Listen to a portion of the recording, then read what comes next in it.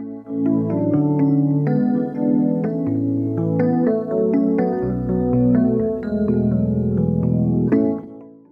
how's it going? Welcome into For the Low. My name is Spencer, and today we're going to be taking a look at this Pioneer CD, CDV, and Laserdisc player. It's really well built. It's got a jog dial on the remote and on the unit, so it has that really nice feature. And then it's also got both side plays so that you can play side A and B without having to take out the disc. But let's go ahead and take a look at it.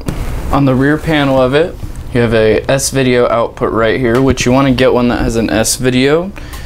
A lot of them only have composite output, which S-video will have better video quality. Then also you've got optical digital audio output. That's if you want to get the best audio possible. Then you've got standard composite video output. You have two of them. Analog audio output right here. You have two again and then you have CD deck synchro if you want to connect it to a CD player and then over here you've got control input and output right there and then also there is a voltage adjustment in case if you plan to take this to a region where they have a different voltage output and this was also manufactured in November of 1991 and it was made in Japan. And then getting it connected is easy. All that you've got to do is connect your S-Video cable. And if you don't have S-Video available, you could also use composite, which is the red, white, and yellow. And then we'll also have to connect the red and white for our audio. And you could also do the digital audio if you prefer. And then now that we've got it all set up, we're gonna put in Hoop Dreams.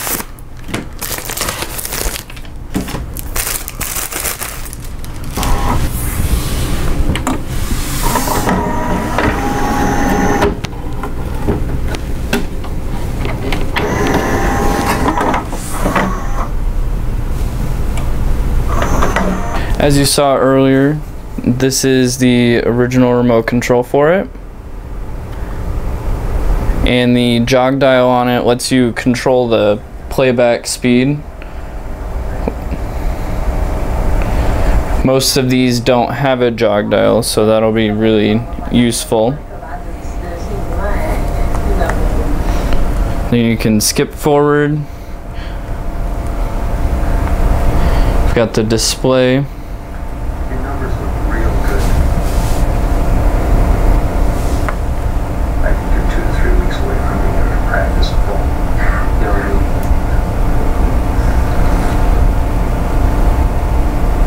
And then you've also got the step button, which lets you step frame by frame.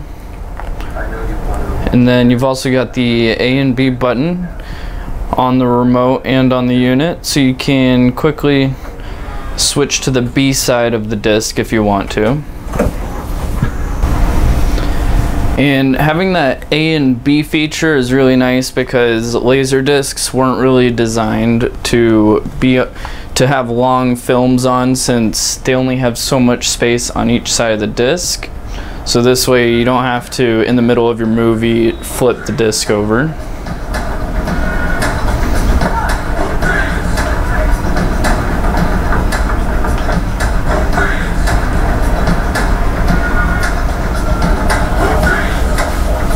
And this is the front panel of it. You've got a power button right there, your remote sensor, and then you can use the soft picture button to adjust the softness.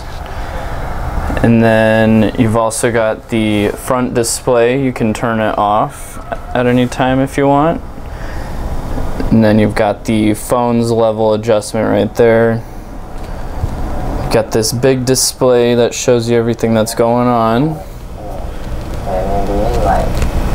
and then you've got some other program options, random play, intro scan, another big jog dial, and then your side A and B switch.